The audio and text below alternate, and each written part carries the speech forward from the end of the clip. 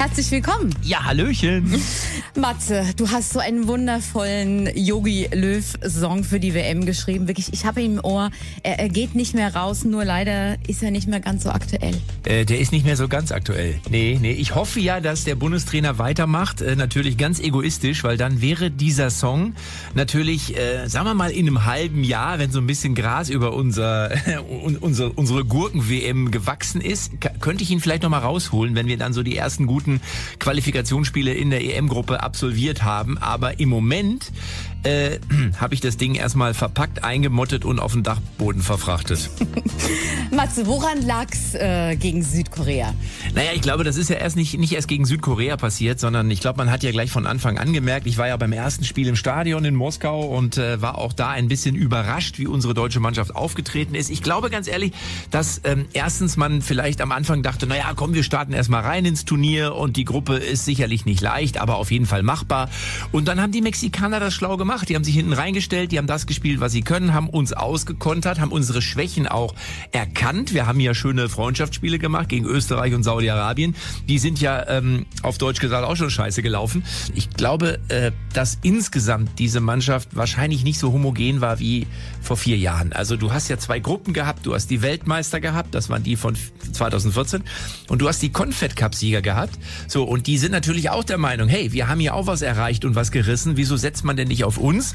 Und die Weltmeister haben vielleicht gedacht, naja gut, wir sind aber die, die den Titel geholt haben. Also vielleicht da auch schon so ein kleiner interner Konkurrenzkampf, man weiß es nicht. Dann hast du das Thema Gündogan, Ösil, was du nicht so richtig von der Platte bekommst. Ja. Und dann ist es eben einfach nicht so einheitlich, wie es sein sollte.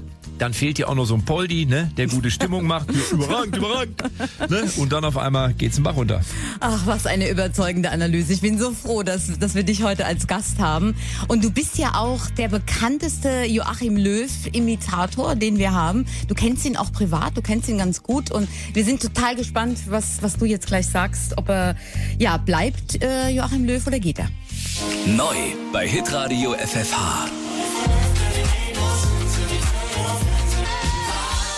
Schön, dass Sie bei uns sind. Es ist Sonntag Vormittag. Silvia am Sonntag der Talk mit Comedian Matze Knob. Wir haben so gelacht schon über deine Imitationen des Bundestrainers Joachim Löw. Du machst das großartig, aber uns ist ja allen nicht so richtig zum Lachen zumute.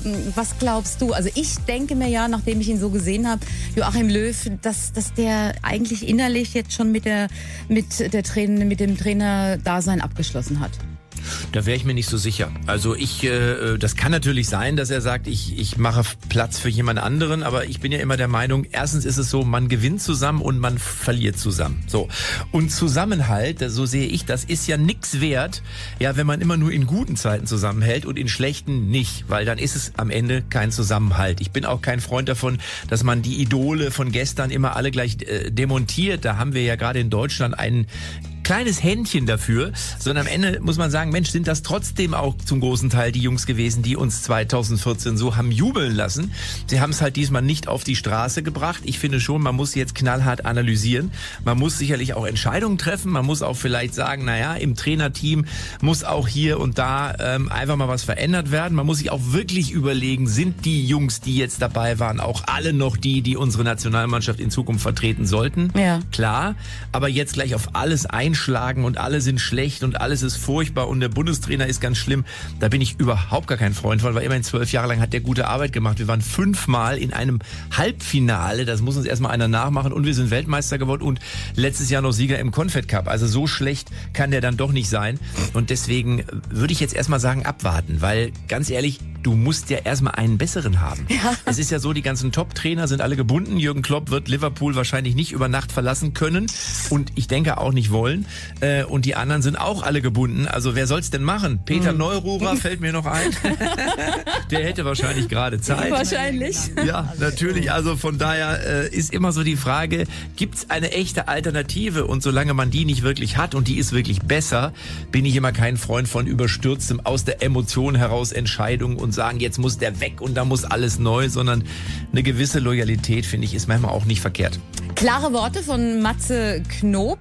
Man muss erstmal jemanden besseren finden, da hat er schon äh, total recht. Und er findet als selbstspielender Fußballer, jetzt ist Zusammenhalt angesagt, man gewinnt zusammen und man verliert auch zusammen. ohne Ziel läufst du durch die Straßen. Radio FFH ist hier zwei Minuten vor halb zehn. Joachim Löw hat eine gewisse Loyalität verdient. Fußballkenner und Comedian Matze Knob warnt davor, alles in Frage zu stellen bei uns im Talk. Matze, ähm, stand nicht von Anfang an alles auch so ein bisschen unterm äh, keine guten Stern? Also da waren die Erdogan-Bilder von Özil und Gündogan und dann das, die Unterkunft, das Gemeckere, es gab kein Wasser.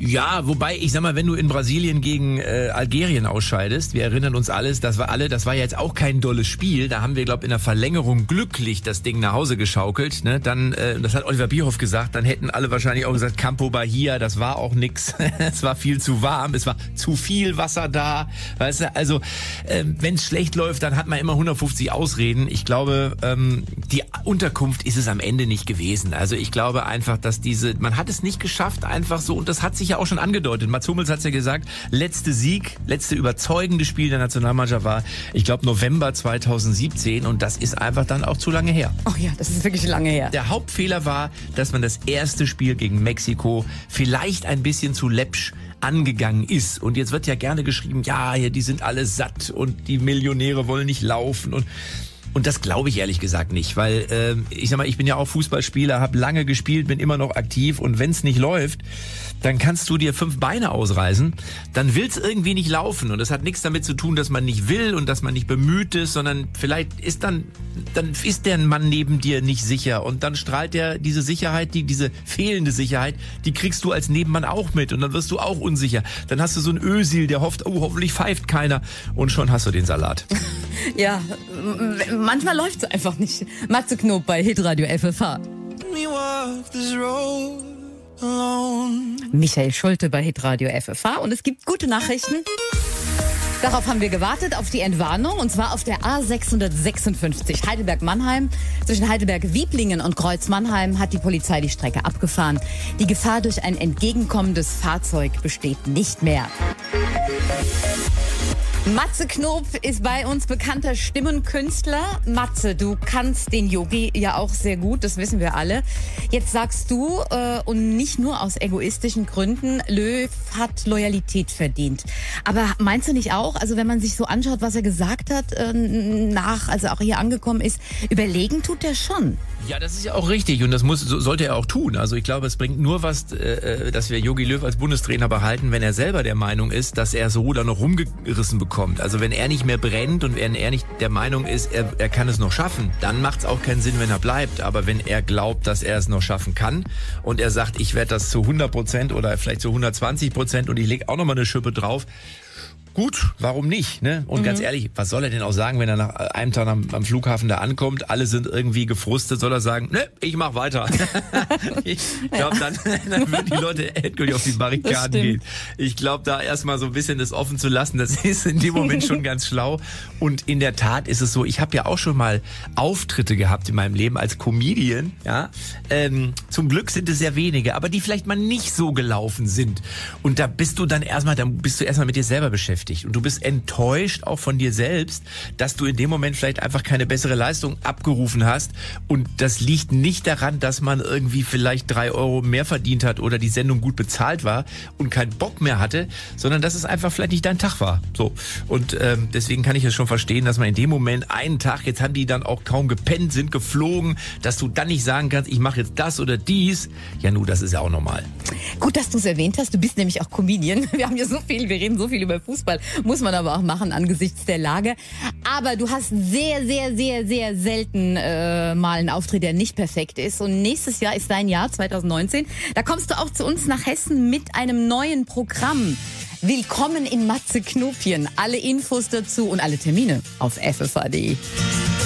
Legenden von Max Giesinger. Ja, auch ein so cooler WM-Song geworden. Was erinnert mich wieder äh, an, an Matze Knob und einen Song über Joachim Löw. Aber ich will jetzt nicht mehr in alten Wunden äh, wühlen. Kommen wir doch einfach mal zu den anderen Experten. Was sagst du denn zu diesen ganzen Äußerungen, die es gegeben hat? Also da war ja alles drin, von totem Frosch über, über Gurkentruppe. Wenn du als Experte nix sagst, ja, das ist ja auch blöd. also so Mario Basler muss ja auch austeilen, ja, weil sonst sollst du ihn sonst einladen. Ne? Zum Zigarettenrauchen musst du ihn nicht holen. Und ich meine, Mario Basler ist halt Mario Basler. Ich wollte gerade sagen, ich kenne ja Mario ganz gut und ich finde, Mario ist ja wirklich ein, ein mega cooler Typ, ja, und der hat ein unglaubliches Talent, äh, was Fußball angeht. Auch heute noch zirkelt der die, die Bälle, keine Ahnung, oben rechts in der Ecke. Äh, der Ball hat irgendwie einen Durchmesser von 30 Zentimeter, die Ecke ist nur 5 Zentimeter äh, groß, aber der Ball geht rein.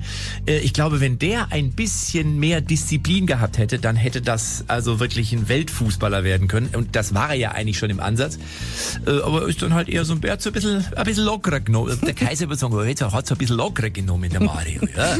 Aber deswegen ist er eben auch unser Mario. Ja. Und man darf auch nicht alles auf die Goldwaage legen, was der Mario so von sich gibt. Ja. Er schont weder sich noch die Umwelt. Das Schöne ist, wenn man dich einlädt, äh, man, man ist nicht nur zu zweit, man, man hat so viele Gäste. Hitradio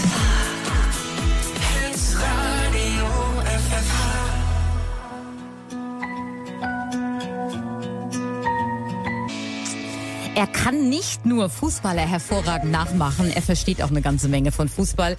Also wer uns bisher gehört hat ab neun, der kann das bestimmt Bestätigung. Matze Knob ist bei uns. Matze, und ich habe mir gedacht, also bei, beim Zuschauen, als die Deutschen noch dabei waren, das kann nicht gesund sein, dieses Zuschauen. Also beim im 95. in der 95. Spielminute das Tor von Toni Kroos, dann das Ausscheiden. Also das war ja nicht immer schön, aber das war Emotion, Emotion pur. Ja, sicherlich, ja, der Kaiser würde sagen, das ist ja quasi eine, eine, ja, wenn ein Tor quasi kurz vor Abschluss noch fällt, ja, das ist ja, da kriegt man Elefantenbocken und, äh, was weiß ich, Gänseböter auf einmal. Das ist ja unglaublich. Du bist, ich glaube auch, äh, also du bist ja so vieles, ne? Also ich meine, du bist so viele Menschen in einem, Matze. Und du bist Ja. im, im Herzen. Schizophren auch Ich Stück. weiß. äh, aber im Herzen bist du, äh, bist du schon auch Fußballer. Ja, ich bin abs. Also wenn einer in diesem Land, der kein Profi war, Fußballer ist, dann bin ich das, weil ich spiele, glaube ich, seit ich fünf Jahre alt bin im Verein. Ähm, ich spiele immer noch. Ich habe keine, ich tausend Kreisligaspiele mittlerweile, glaube ich, gemacht. Ich habe Dreierkette, Viererkette. Ich habe Innenverteidiger, Außenverteidiger, Mittelfeld, Sechser. Ich habe alles gespielt. Ich kann jetzt zu jeder Position was sagen. Und ich bin viermal aufgestiegen und viermal abgestiegen und habe sieben Entscheidungsspiele mitgemacht. ähm, Gott. also ich habe wirklich das ganze Fußballerleben durchlebt und weiß ungefähr, wie man äh, denkt als Ja. Spieler. Ich bin zwar kein Profi natürlich nicht, aber auf der Bühne bin ich dafür Profi ähm, und deswegen weiß ich schon, wovon ich spreche. Behaupte ich jetzt mal. Dann kannst du wahrscheinlich auch ganz gut die Spieler verstehen. Wie fandest du Toni Kroos Bemerkung nach dem Schwedenspiel? Also da war ja so ein bisschen beleidigt in Richtung Deutschland. Da hätten sich einige gefreut, dass, äh, dass Deutschland rausfliegt. Ich finde es ja gut, wenn einer auch mal, wenn ein Fußballer auch mal was sagt, was ein bisschen aufhorchen lässt und nicht immer dieses weichgespülte. Wir wünschen uns ja immer Typen, Mhm. ne, die einfach mal wie früher Mario Basler, mach die Kamera aus, mach die Kamera aus, weißt du? Ja, das war ja geil. klar, oder, oder, ja. Das ist eine riesen Sauerei, stinksauer bin ich darüber. Die gelbe Karte, die geile war, die rote, die Karte, die geile war. So, das gibt's ja heute nicht mehr. Heute Nee. ist ja jeder glatt gebügelt und es ist das Interview vorher noch abgenommen. Also von daher, ich fand es gut und muss dem Toni in gewisser Weise recht geben. Es waren doch sehr viele Menschen sehr negativ und jammerig. Ich will nicht sagen, dass sie es gewünscht hätten, aber wir waren eigentlich schon von der Stimmung her waren wir schon ausgeschieden, schon Ja, vor dem Mexiko-Spiel. total. Ja, verrückt. So, und das ist auch schade, weil ich glaube ja immer an die Energie. Die Energie macht's. Obwohl, ich muss wirklich sagen, unsere Fans in der Commerzbank Arena, wir waren, also, wir waren alle dabei. Und trotz dieser großen Energie hat's dann nicht geklappt. Wir sind ausgeschieden, aber die WM in Russland geht ja weiter. Sind Anfang und Ende der gleiche Punkt. Hier ist Silvia am Sonntag, der Talk mit Matze Knob, ein Fußballexperte, bekannter Comedian und immer für klare Sprüche gut. Mit dem Videobeweis wird der Schiedsrichter enteiert. Das stammt von dir. Ja, natürlich, weil sonst war der Schiedsrichter der Boss auf dem Platz und der hat entschieden. Und wenn er entschieden hatte, dann war das so oder es war eben nicht so. Jetzt ist es so, also ich finde ja bei der WM äh, funktioniert es ja erstaunlich gut. Ja, weil da hast du ja auch dann den albanischen Eisverkäufer, der jetzt mal Schiedsrichter spielen darf und der wird dann auch vom Videobeweis so ein bisschen durchs Turnier geleitet. Aber in der Bundesliga Katastrophe. Natürlich wäre es gut, wenn man eine Institution hätte, ja, die fehlerfrei ist. Aber es sitzen ja wieder Leute in Köln, die dann auch wieder, das ist auch wieder ein Mensch, der dann wieder Ja. entscheidet. Klar. Ja, und dann hat der Schiedsrichter im Zweifel nochmal zwei Minuten Zeit, um sich so richtig in die Grütze zu reiten, wenn er nämlich dann irgendwie auf den Monitor guckt Genau. und dann wieder falsch entscheidet. Ich bin für Torlinientechnik, der Ball war über die Linie, ja oder nein, magisches Auge wie beim Tennis, mäh, und ansonsten soll der Schiedsrichter entscheiden, Punkt. Und man muss ja auch sagen, von den falschen Entscheidungen redet die Welt äh, ja ziemlich lange, viel, viel länger als von den richtigen Entscheidungen. Das Wembley-Tor, ja, es wird doch keine Sau mehr über dieses äh, Nee. Finale 66 reden, wenn es nicht dieses geile Tor gegeben hätte. Und ob die Engländer damals Weltmeister geworden sind oder wir, ja, scheiß doch drauf. Stell mal vor, die hätten nicht einen einzigen Stern. Ja, so können sich zumindest. es wird doch auch der einzige Stern bleiben die nächsten 200 Jahre. Machen wir uns doch nichts vor. Also wir, wir werden das beobachten, ob du recht behältst. Zumindest sind die Engländer noch drin, im Gegensatz zu uns Deutschen. Am Dienstag spielt England gegen äh, Kolumbien und da schauen wir, ob du recht hast und England rausfliegt. Hitradio FFH, Silvan Sonntag, der Talk. Wir sind raus, ja, aber wir sollten nicht jetzt alles in Frage stellen, sagt mein heutiger Gast, Matze Knob. Es muss einfach weitergehen. Ich glaube, ich fänd's gut, wenn trotzdem auch in der Niederlage irgendwie alle ein bisschen zusammenrücken und sagen, scheiße, war kacke, es müssen Entscheidungen her, es müssen auch äh, Leute die Verantwortung übernehmen, es muss auch was verändert werden, ja, aber wir halten zusammen, weil ich finde, so ein Zusammenhalt, der fehlt mir manchmal ein bisschen. Und ich finde, ich habe heute einen gesehen, der ist mit seinem Auto, der hatte trotzdem noch die beiden Fahnen links und rechts, schwarz, rot, gold. Und da sage ich dir ganz ehrlich, das finde ich gut. Ja, weil das symbolisiert, ich stehe trotzdem zu unserer Truppe. Ja, ihr habt scheiße gespielt, ich bin tief enttäuscht, es muss sich was ändern, aber ich werfe hier nicht die Flinte ins Korn. Und da sage ich dir, was sollen denn die Fans sagen von Hamburg, äh, vom HSV oder von 1860 München oder von Kaiserslautern? Und jetzt stell dir mal vor, du bist Fan der deutschen Mannschaft und Fan vom HSV. Ja, wie scheiße. Was hast du denn dann für ein Problem? Also von daher, Freunde, einfach mal zusammenhalten, nicht immer alles nur negativ und schwarz sehen. Sehen wir es positiv. Das Wetter ist gerade gut. Ja, jetzt können wir uns mal schön in den Garten legen und brauchen nicht vor der Glotze sitzen. Ist doch auch geil. Der Mann weiß einfach, wie man das Leben zu nehmen hat, oder? Matze Knob. Matze Knob ist bei uns. Matze, du plädierst dafür, nicht alles jetzt beim Fußball, beim deutschen Fußball in Frage äh, zu stellen. Und du hast ja auch äh, gesagt, wer soll's denn machen? Und äh, sag mal, aber ich meine, wer, wenn nicht du, kennt Jürgen Klopp? Glaubst du nicht, äh, der, der Jürgen würde das machen? Ich glaube schon, dass Jürgen Klopp das machen würde, aber es muss natürlich auch die Zeit passen. Und jetzt ist er gerade in Liverpool, ja, der ist da gerade mehr als angekommen, der wird da äh, äh, gefeiert und der hat das Champions League Finale erreicht. Wenn der Karius äh, keine Gehirnerschütterung gehabt hätte, Hihihi. Ob so ist, wissen wir alle nicht. Ja. Ich bin ja immer der Meinung, dass der Bundestrainer auch beim Vorlesen des Kaders eine Gehirnerschütterung hatte und eine perspektivische Verschiebung. Deswegen hat er den Sané auch zu Hause gelassen. Ich glaube, der hat sich so. einfach nur in der Zeile vertan. Ähm, dann hätte der das Ding gewonnen, der Klopp. Ja, dann wäre es vielleicht, dann hätte er sagen können, ah, jetzt, äh, jetzt habe ich so ein, ich glaube nicht, dass der da unvollendet gehen möchte. Also ich würde mal schätzen, Klopp ja, aber wir müssen uns noch zwei Jahre gedulden. Das ist so ein bisschen mein Gefühl. Und ähm, wenn das denn überhaupt dann macht, wenn nicht Real Madrid anruft. Und deswegen denke ich dann, oh, muss bis dahin vielleicht soll der Yogi jetzt auch mal Eier haben ja? und eben dann auch mal sagen, ihr habt Fehler gemacht, aber ich korrigiere die Fehler und jetzt steht ihr eben dann auch nach vorne und dann holen wir einen EM-Titel und dann höre ich auf. Ja, das, das, klingt, äh, das klingt nach einem Plan. Genau mein Musikmix. Silvia am Sonntag mit Matze Knob. Das mit den Favoriten bei der WM in Russland ist so eine Sache. Deutschland war immer dein äh, ja, Top-Favorit, kann man glaube ich sagen. Ja, ähm, Deutschland ist raus. Ähm, Wer wird jetzt Weltmeister? Wer wird Weltmeister? Ich kann es dir nicht sagen, du. Also ich sag mal so, was mir aufgefallen ist, ist ja, diese kleinen Mannschaften alle nicht schlecht waren. Ja, so Iran, äh, Marokko, Tunesien, da hättest du ja gedacht, das ist alles Kanonenfutter. Ne? Aber die haben alle kapiert, du, wenn wir uns hinten reinstellen, wenn wir da mit äh, zwei Viererketten oder auch mit einer Zwölferkette agieren, dann müssen auch die Spanier und die Belgier und wie sie alle heißen, erstmal ein Tor machen. Das funktioniert ganz gut. Das ist unattraktiv für den Zuschauer.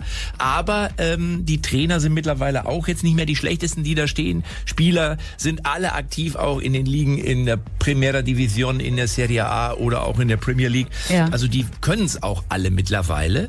Ähm, und jetzt, gut, jetzt sind die zum großen Teil trotzdem aussortiert. Ja, und jetzt, also Belgien war, hat mir sehr gut gefallen.